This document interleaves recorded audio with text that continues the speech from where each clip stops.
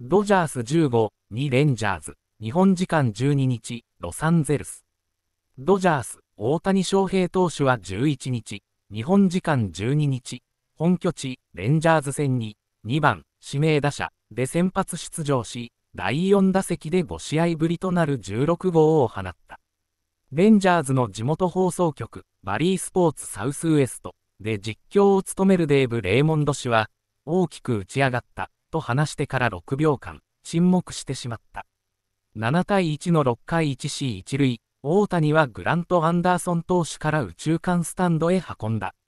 打球速度114.2マイル、約183.8キロ、飛距離433フィート、約132メートル、と文句のつけようのない打球に、レーモンド氏は、やれやれ、というのが精一杯だった。解説を務めるデーブ・バレ氏は、ど真ん中に投げてしまいました。大谷のような打者は見逃してくれません、と冷静に分析。